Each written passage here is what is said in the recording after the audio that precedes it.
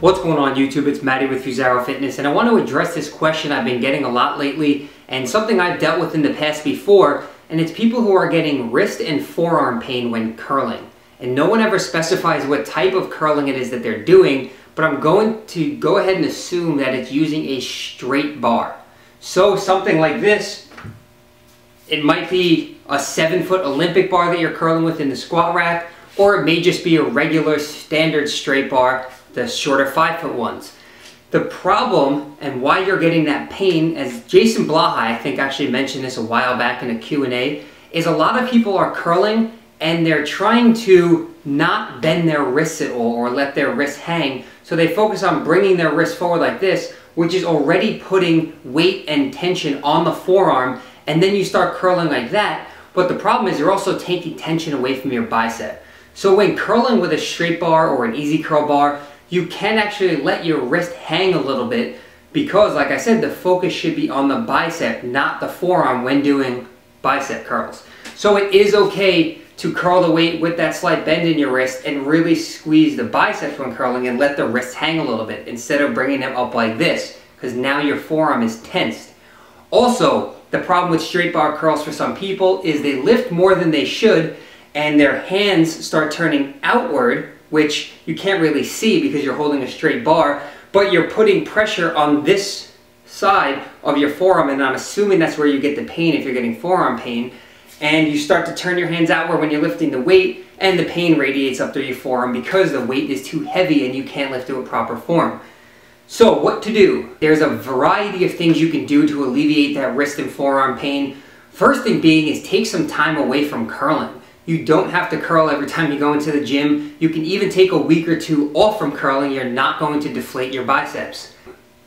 Ditch the straight bar or lower the weight. That's one thing you can do. Well, two things you can do. Or you can go ahead and grab an easy curl bar, which will give you the opportunity to change up your grip. You may also be gripping the bar way too wide. You may be doing curls like this, putting a lot of tension on your forearms, or way too narrow, putting tension on your wrists. So that's the benefit of dumbbell curls and that easy bar. So I'll show you in a second. This is an easy curl bar for those wondering. Notice how they have angled handles. So you can grab like this, and now when you curl, you're able to keep that angle in your wrist and you don't have to worry about turning outward and putting that pressure on your forearm. So this will definitely make curls easier if you're able to grab a bar with this type of grip or even a hammer grip if your gym has that kind of bar. If not, go ahead and switch over to a dumbbell. Dumbbell.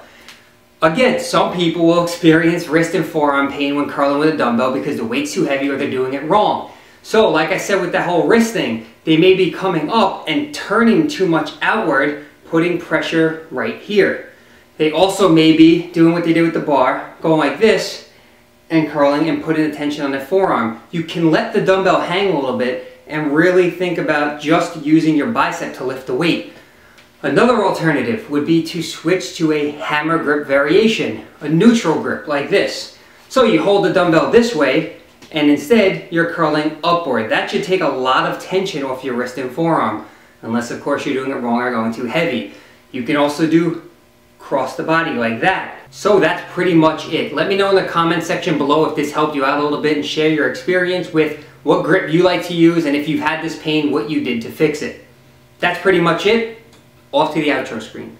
This is the outro screen. If you look to the left hand side, you'll see one, two, three videos that I did previously, like months ago, or maybe even yesterday but you can click them and they'll open up in a new window. You can also click that link below me where it says subscribe. And no, I didn't say below me, I said below me. And you can click that to subscribe to the channel.